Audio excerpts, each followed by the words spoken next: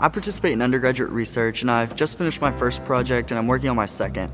I've found that undergraduate research really helps you stand out from the crowd and it challenges you really to be innovative and really creative.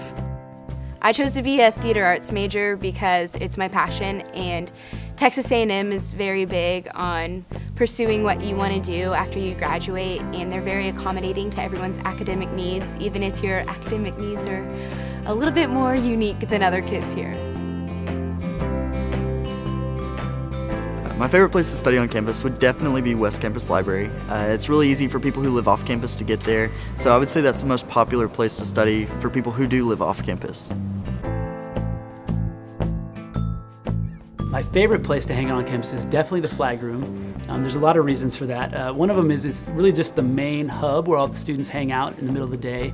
Um, you can study there, the couches are really comfortable, you can hang out. It's also really close to food, and sometimes people come in and play the piano, which is awesome. In high school, I didn't make the best grades, but when I got to A&M, I really applied myself and ended up making the best grades of my life my freshman year.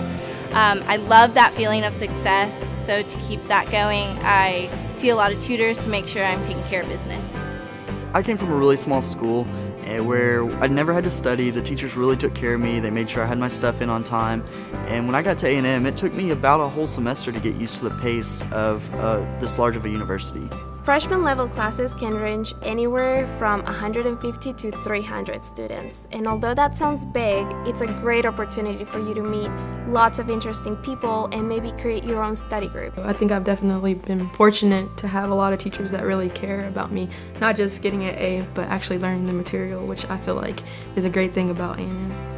Choosing biomedical sciences as my major has definitely prepared me in my aspirations to become a medical student. There are a lot of classes that are in the curriculum that will actually be part of my curriculum as a medical student, such as physiology, anatomy, biochemistry, and many more. I feel that A&M has prepared me for what's waiting for me out there, and I know that I'll become a great medical student and hopefully a great physician.